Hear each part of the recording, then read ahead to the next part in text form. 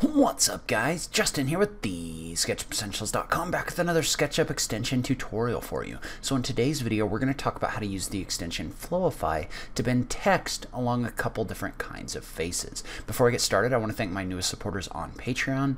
So big thank you to Stephen Wilson, Iveta Pazdorova, Kenneth Reed, Rob Middleton, and Drew Franio.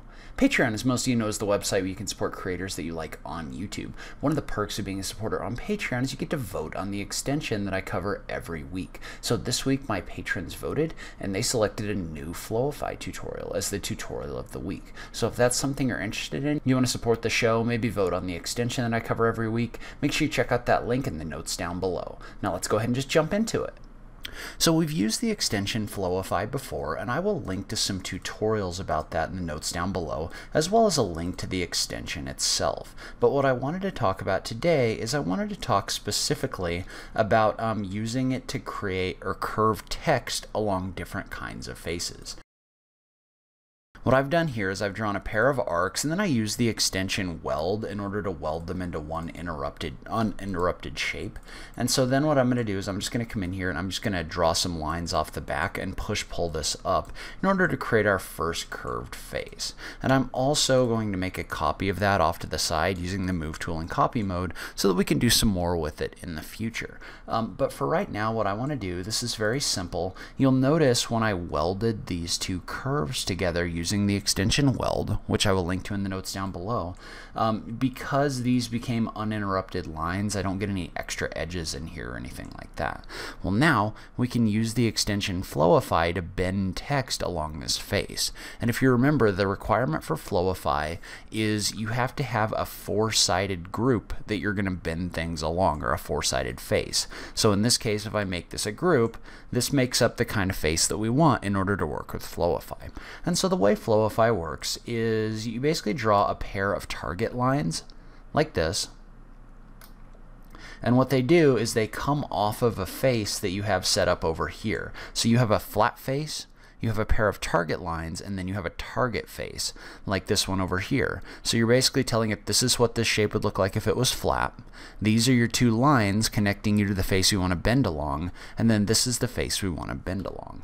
And so now what I'm going to do is I'm just going to draw a flat plane in here like this. And so now what we need to do is we need to make sure our grouping is set up properly. And so what I'm going to do is I'm just going to select these two edges and put them in a group.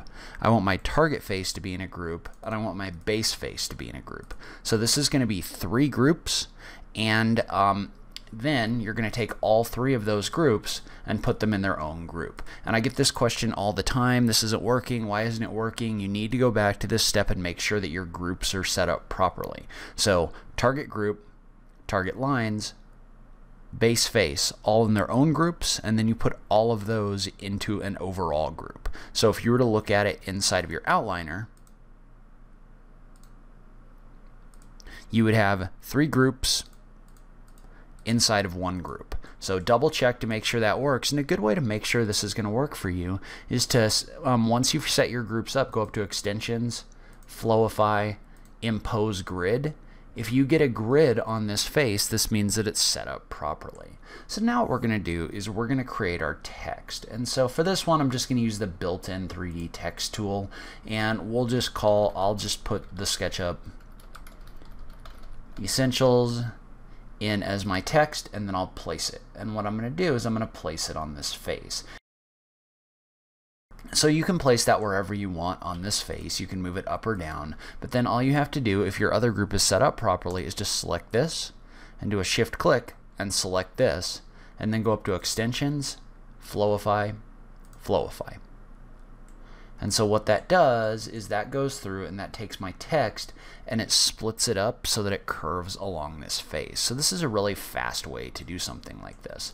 And um, if you wanted to, maybe what I'll do is I'll put a couple different examples on this face. So I'm going to move this up and we'll do that again. But you could also, if you were to move this down, make changes to this So once you have an idea of the way this works, what you can do is you can adjust the object that you're bending in order to create different looks. So like for example, I'm going to use FredoScale's box tapering on here. And what I can do is I can take my text and I can taper it down like this. So you could have your text get smaller at one side, bigger on the other side, and then just do the same thing, extensions, Flowify, Flowify, and you can see how that text that's getting bigger can go on there as well. So once you get your group up, you can get really creative on the different kinds of things you can create. So another thing you could do is, um, because this has four corners, so we're going to move on to our second example group over here. Because this has four corners, you could do the same thing over here, where you could take this shape, and you could taper it down like this, and it still has four corners, right? So Flowify is still going to work with it just fine. So I would do the same thing over here. Maybe draw my face a little further away just so you can see what I'm doing a little bit better. But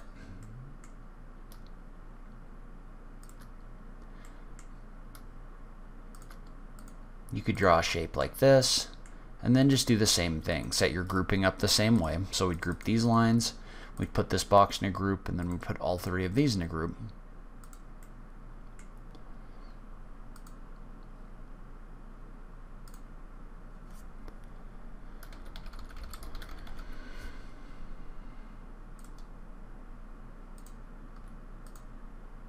So you could take some more text and use Flowify over here. And one thing you're going to notice about this is for this one, because you're bending it along a shape that gets a little bit smaller on this other side, um, your text is going to start off a little bit taller here and it's going to get a little bit warped and smashed down over here because as far as your target group is concerned, um, right here,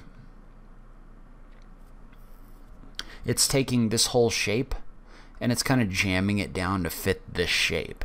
So you need to be aware of what that's doing just so you know if you're going to get distortions or things like that, you can kind of plan for those. You know, and um, so you can see how you can use this to bend text along faces really easily. And so one more example and it's a little bit more of a complex example is I'm going to come in here and I'm going to extrude a sphere using the follow me tool. So um, I'm going to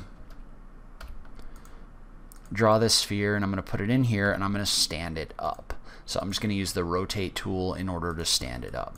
So when I do that, it would be kind of difficult right now to bend something along, first of all, along the entire sphere. That wouldn't work because there's not a four cornered shape in there if you were to do that this way. Um, but let's say you wanted to bend something along the face of this sphere. Well, what you could do is I'm going to go in, I'm going to turn hidden geometry on, and what you could do is you could come in here and you could erase out, or you don't even need to erase out. What you could do is We'll just look at this straight on using front view. And I'm going to go ahead and I'm going to turn parallel projection on just so I can drag a box across just this line really quickly. So then I'm going to turn it back off. You can see how what I did is I came in here and I selected the entire half of the sphere. Um, or the entire circle or the entire ring that's going around this sphere, well, I'm just going to go up into my entity info and unsoften that. Well, now what I have is I have two halves of a sphere. So I've broken this up like this. Well, now I'm going to go in. So what I'm going to do is I'm going to come in here and I'm going to select all of this geometry and I'm going to unsoften it so that it becomes real geometry or so that it becomes geometry that you can see. And then we'll do the same thing on the bottom down here. Well, now, if we were to go in and turn hidden geometry back off, what we've done is we've broken this face up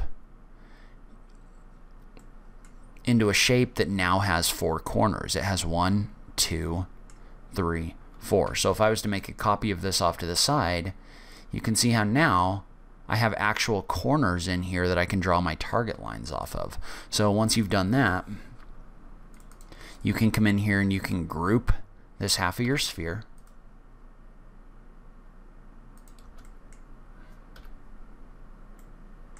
probably what I would do in this case is I would start by drawing the rectangle that I'm going to use as my target shape off to the side. So something like this. So I would draw that first.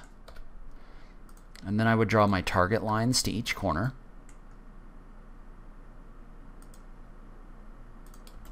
Like this, and I would put them in a group. So I'm just going to select these, put them in a group. This one's in a group, then I'm going to take all three of those and I'm going to make a group. And now if I go into Flowify and I click Impose Grid, you can see how I'm going to get a grid in here because this has this is a four-cornered shape. So even though it's a complex curve shape, it's got four corners in here so Flowify can kind of read it. And so then, let's say, oops, Let's say we just wanted to put the word sphere in here.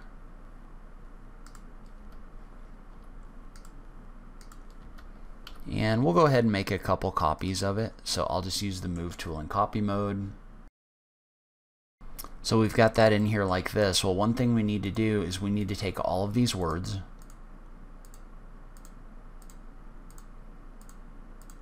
and we need to put them in a group and then this still isn't going to work for you because this needs to be raw geometry inside of this group. So if I was to take all of this right now and try to run Flowify, it's going to give you an error because your source geometry group must contain raw faces.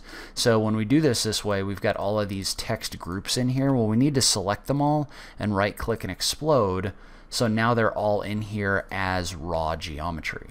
So now I can take my uh, target group and the group that I want to bend along this and just go to extensions, Flowify, Flowify, and it's going to bend all of that text along this face just like this. And so if you wanted to, if you wanted this to go all the way along this sphere on both sides, you could then take this and you could use the move tool in copy mode to copy it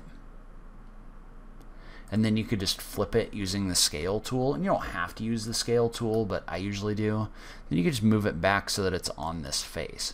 You have to be a little bit careful when you do that to make sure that it's actually on the face but you can see how now whoops we're probably going to want to flip this the other way. But you can see how now you've got this geometry along this sphere all the way along both sides so once you have a handle on the way that this works, you can bend shapes along more, more and more complex faces. But leave a comment below, let me know what you thought. Did you find this helpful? Have you used Flowify before? I just love having that SketchUp conversation with you guys. If you like this video, please remember to click that like button down below. If you're new around here, remember to click that subscribe button for new SketchUp content every week. If you like what I'm doing on this channel, please consider supporting me on Patreon.